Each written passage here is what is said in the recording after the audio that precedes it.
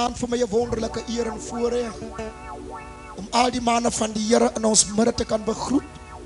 Die vroue van die Here, die gehoor. Amen. Vaders, moeders, jong mense, kinders. Wat u moed en het om vanaand hier by ons saam te wees, mag die Here God u ryklik seën. En mag u vanaand met 'n amen, 'n seën uit die woord van die Here ontvang. Want die Here hy doen mooi dinge, hy doen pragtige dinge. En en sy woord is daar. Amen. Om ons amen te help, te om te leer, te ondersteun, te onderrig. Glory to Jesus. Ons gaan vanaand die woord van die Here in Johannes en in Hebreërs kyk.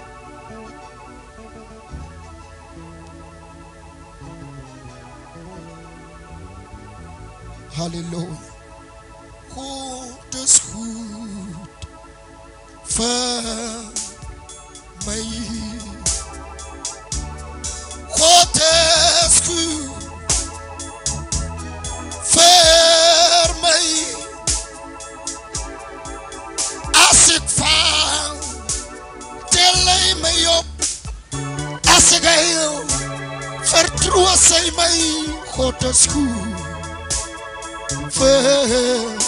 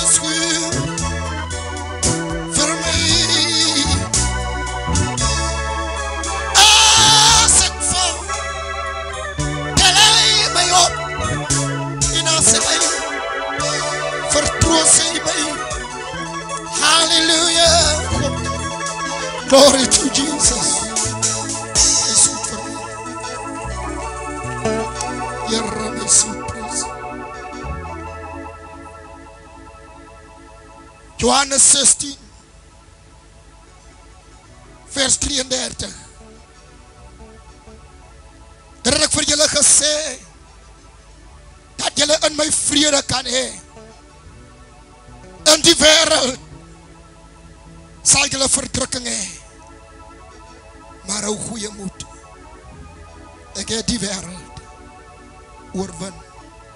Hebreërs 4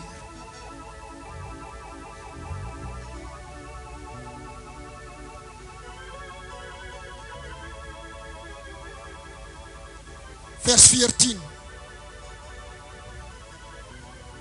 Terwyl ons dan 'n groot hoofpriester het wat deur die hemel deur gegaan het, naamlik Jesus, die seun van God. Laat ons die belydenis vashou. Want ons het 'n ons het nie 'n hoofpriester wat nie met ons swakhede medelee kan hê nie. Maar een wat in alle opsigte versoek is net soos ons maar sonder sonde laat ons dan met vrymoedigheid na die troon van genade gaan sodat ons barmhartigheid kan verkry en genade vind om op die regte tyd gehelp te word die Here seën sy voorgelese woord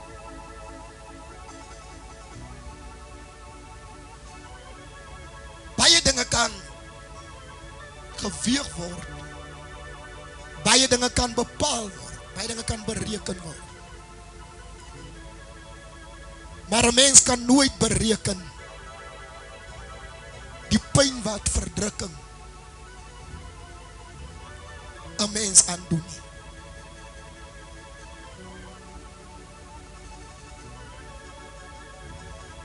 As ons mekaar se stryde aanhoor, dan hoor ek die ander persoon sal sê, "Daai van jou is nog niks." Asof u weet daai een is 'n pyn is ligter.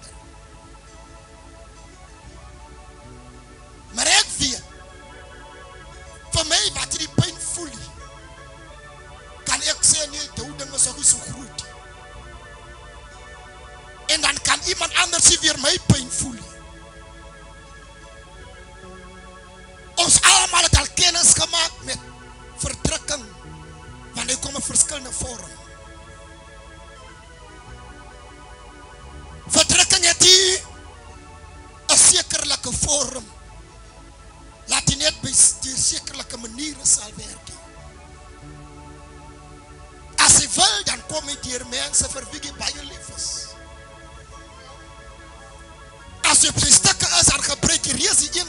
het om jou seer te maak. Of hy gebruik onbekende persoon. Hy gebruik families.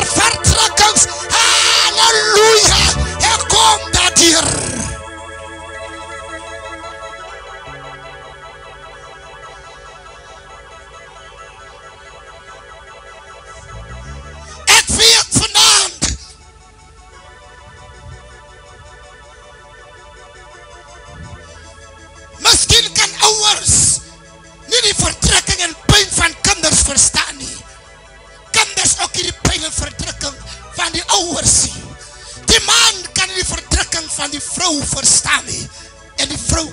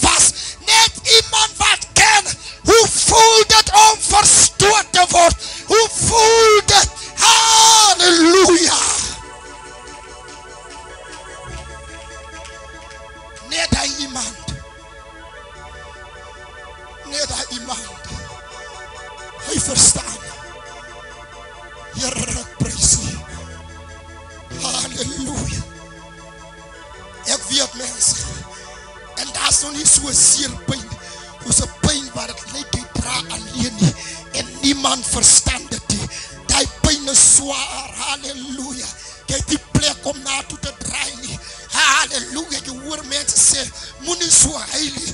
Moet niet zo klaar niet. Moet niet zo wat maken. Want niemand verstaat niet. Maar ik ken een man. Halleluja. Wat die warmte en die hitte. Van die wereld trotseren. Ik ken een man. Halleluja. Doe iets goed doen. toe verdraaid het. Halleluja. Doe iets goed doen. toe zelf Weg met hem. Ons zoek je voor hem niet. on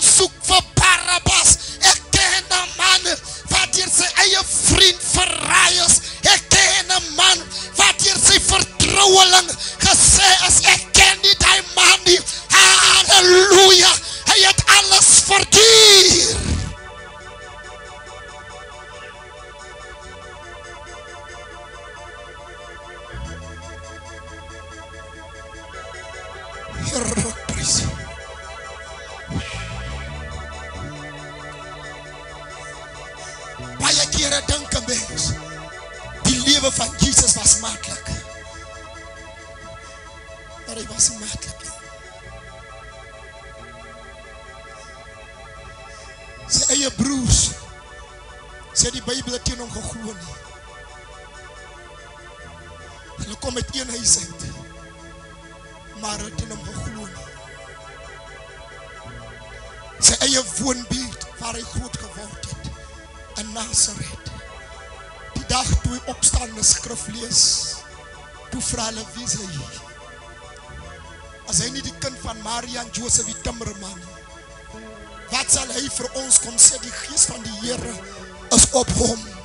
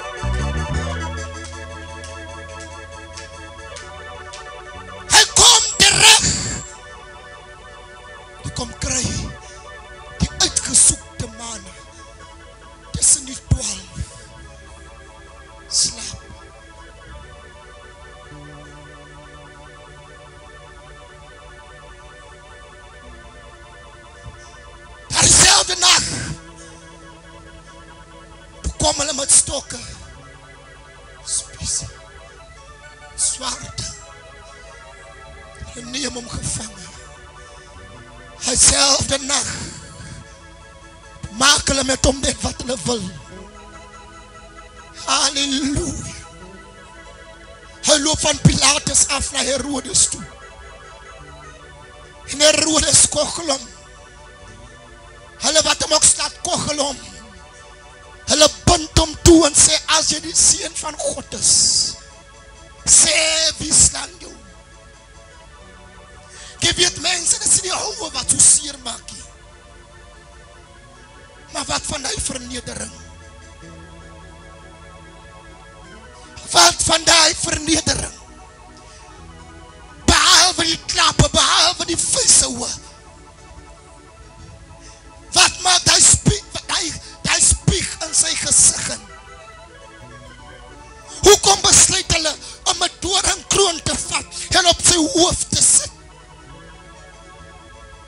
Hoekom besluit hulle om om nie vast te maak soos ander misdadigers met touwe nie, maar hulle sit spijkers in sy hande en in sy voete?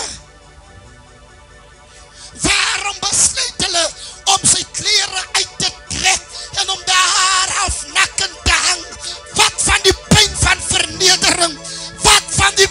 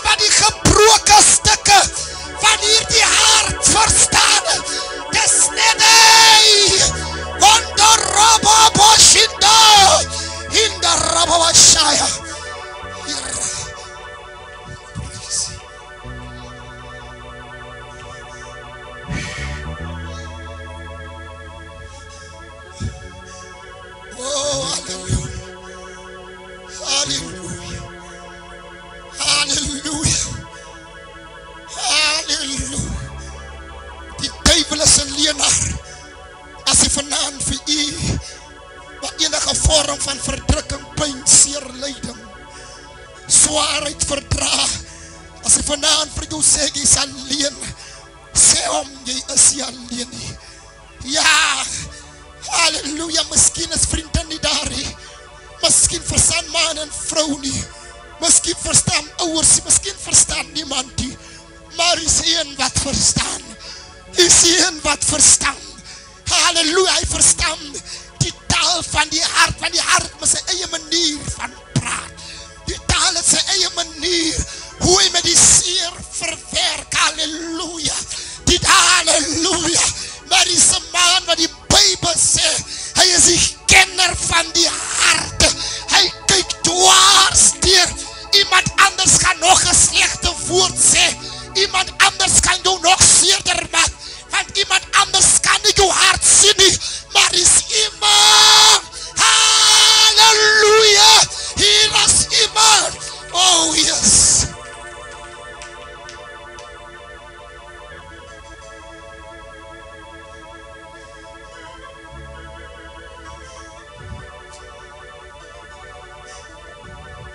Hier kom 'n gebroke vrou, 'n stikkende vrou.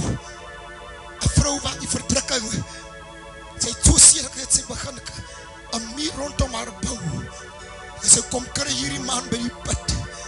En hierdie man gesels met hom asof hy 'n behoefte het. Gee my 'n bietjie water.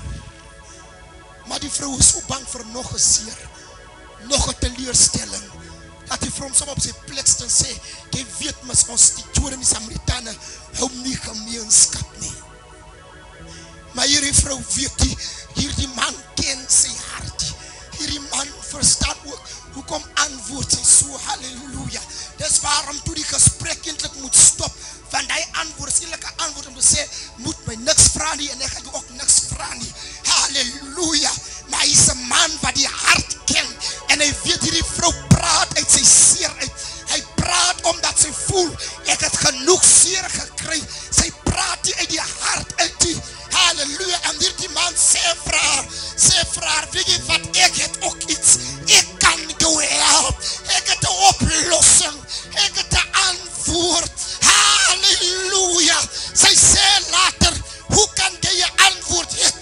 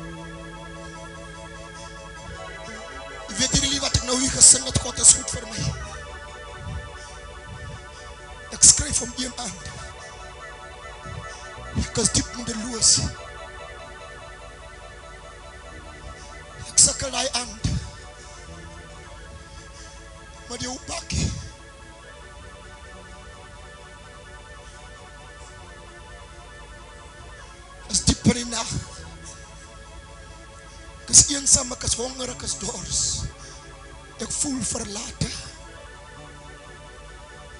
En om alles te kroon, maak die vye na die bakkie, sy draad aan die brandslaan. Alles raak so donker. Gooi my af van die pad af. Klim uit. Roep aan, ek wil weet,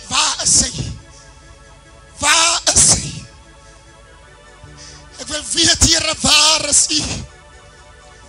Ek sien jou nie. Ek weet nie, waar is jy nie? Hoekom moet ek met my so gaan? Ek voel, ja, ek le, ek le op die teerpad. Ek heilig, heilig voel as hier nou.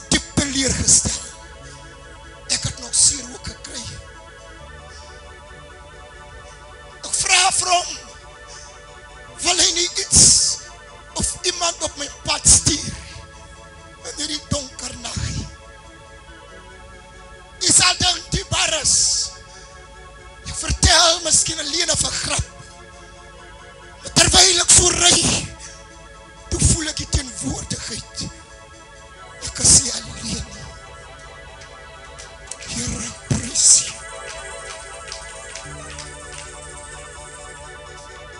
Al wat ek kan doen in die teenwoordigheid van hierdie onsigbare persone wat hier is. Al wat ek kan doen is lofliedere. En ek sing en trane loop oor my. En jy weet, ek weet nie wat geword van die seer of die pijn of verdrukking wat in my hart en was nie. Maar al wat ek weet, hy wat die hart ek ken,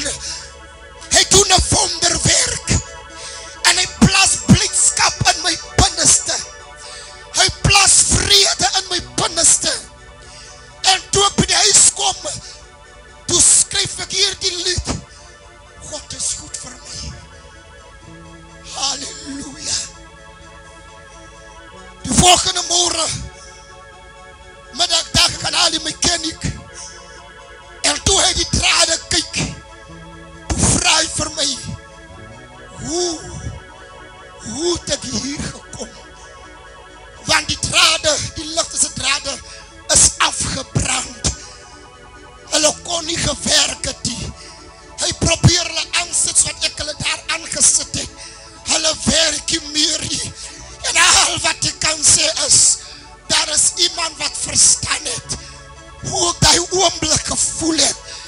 Daar is iemand wat geweet het, wat ek deurgemaak het.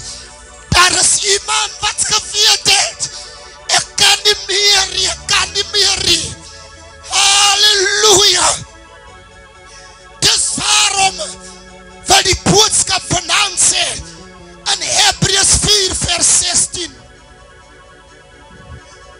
Kom laat ons met vrymoedigheid. Kom laat ons met vrymoedigheid na die troon van genade toe kom. Die duivel as hy jou klaar gemaakt het laat jy alleen nog voel in jou probleem. Dan bring jy die tweede siekte. En dis onvrymoedigheid.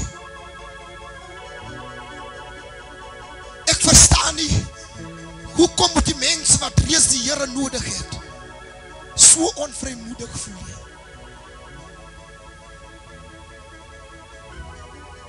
Dis mense wat vandaan deur diep waters gaan.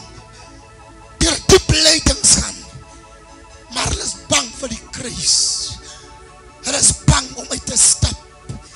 Want die duivel het hulle ander siekte gegee. Onvrymoedigheid. Onvrymoedigheid. Want jy dink die Here dink soos wat 'n mens dink. Jy dink die Here gaan sê, kom jy weer. Jy dink die Here gaan sê, hoekom het jy nie gehoor nie? Jy dink die Here gaan jou wys op jou verlede. Jy dink die Here gaan 'n rekord hier uittrek en sê jy moes dit oorgekom het jy was as prins. Maar die Bybel sê ons kan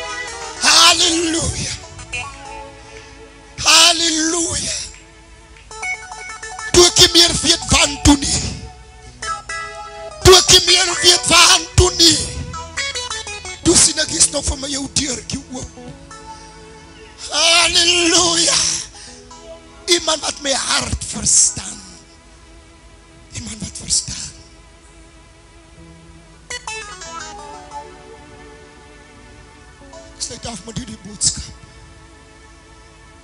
Halleluja. Kom met vrymoedigheid. Hoekom is ons bang vir die Here wat reeds vir ons kan help?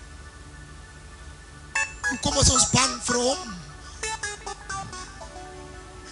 Wat sy hand wat te kort is om jou uit te red die uit. Hy steek sy hand uit daar en lag waar jy lê. Waar jy is, steek sy hand uit. En is ons wat terugstap en sê, ek sit met 'n probleem, maar ek wil nie gehelp word nie. Kom met vrymoedigheid. Petrus kom een keer na hom toe en vra, hoeveel maal moet vergewe word? En nou Peter is sommer klaar die somme gemaakt. As my broer 7 keer na my toe kom, Heere, dan is het mis nog genoeg. Hy het is vir hom is genoeg, want hy is een mens. Maar ongelukkig vry die verkeerde man. Heere, prijs.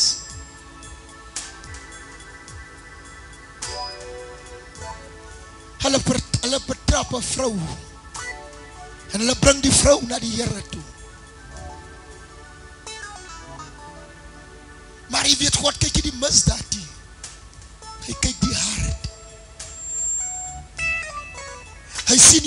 my as een mens wat gevoelens het. Een mens wat pijn ken. En wat maak die anders? Hulle wil net die pijn erger maak. As God die mens help, Hy help jou om jou hart te genees. As God die mens help, hy help jou om jou te herstel.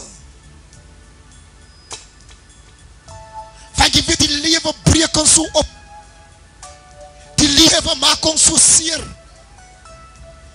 Ons is nie meer diezelfde mense nie. Onze drome is nie meer diezelfde nie.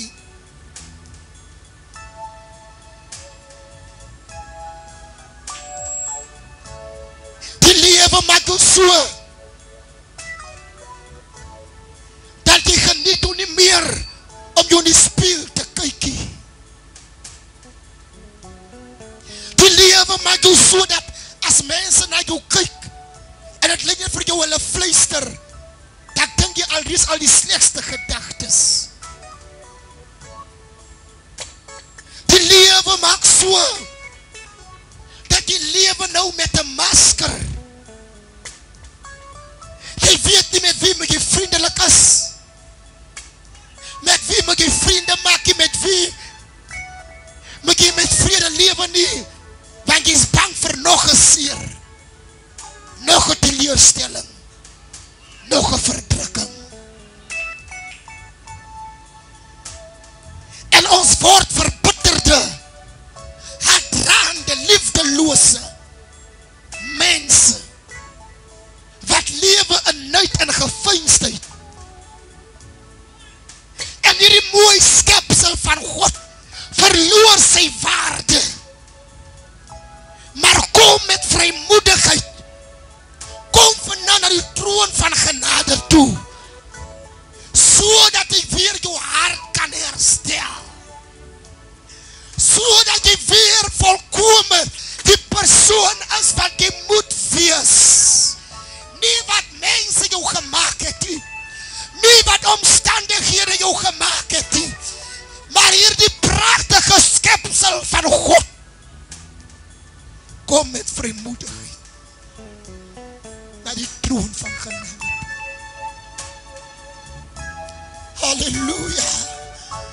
Ek prijs hom. Ek kan bid om. Ek verheerlik hom. As ek vanavond my getuinis vir u moet gee, dan sal u nie gloor, u die prediker vanavond die preek. Halleluja, het so niks van hom gedinkie. Het hy maar een hakelaar gewees het. Ek het vreselike hakelmense, maar toe kom ek na die troon van genade toe, en hy herstel my, en hy maak my eindelijk wat ek moet wees. Halleluja, hy herstel my leven, en is waarom ek gee aan om die lof, die prijs. Halleluja, want hy het verstaan, en tot vanavond toe verstaan my, elke, as ek een traan stort, dan verstaan hy, as ek my een kan hou, dan verstaan hy. Halleluja! Glory to Jesus. As ek die wereld moet maak met hulle wat my seer maak, dan verstaan hy. Kom na die troon van genade toe. Die wat vanavond in die wereld lee, terwille van die verdrukking. In die wereld sal julle verdrukking hee maar hou goeie moed. Ek is hier dier. En ons wat ook hier dier gaan, dank die Heer, ons is hier alleen nie. Oeh, die duivel is een leenaar. Het ons altijd gesê, ons is alleenaar. Maar vanavond hoor ons een boodskap. Ons is nie. Ons is nie. Ons is nie ons is nie alleen nie. Die onsienbare hand van die Heere is daar. Hy ondersteun jou met sy kracht. Hy ondersteun jou, halleluja, met sy ou fijn stemmiekie, wat jy nie wil op achtslaan nie. Hy ondersteun jou. Oor ons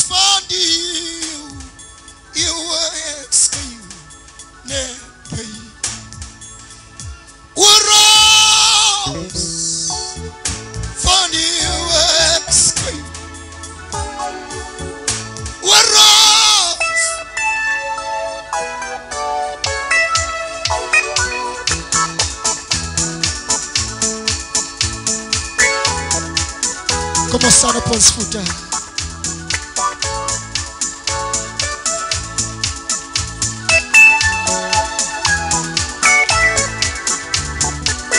ons maak een uitnodiging.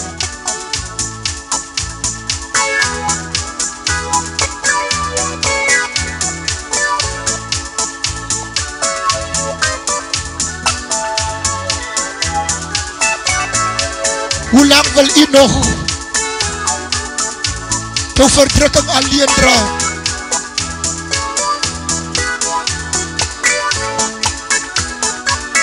Hoe lang wil jy nog jou pijn dra? Kom met vrymoedigheid na die troon van genade toe. Ons wil vanavond saam met man en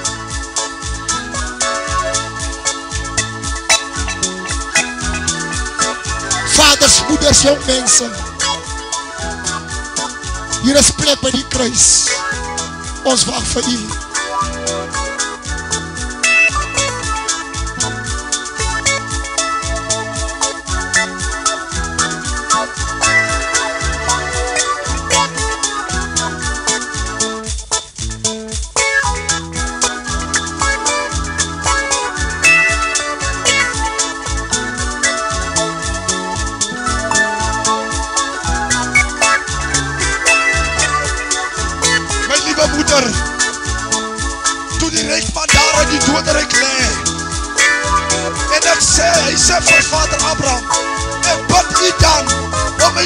my vijf broers, te op varski, van die plek waar ek in is, is een pijnige plek, wat van jou?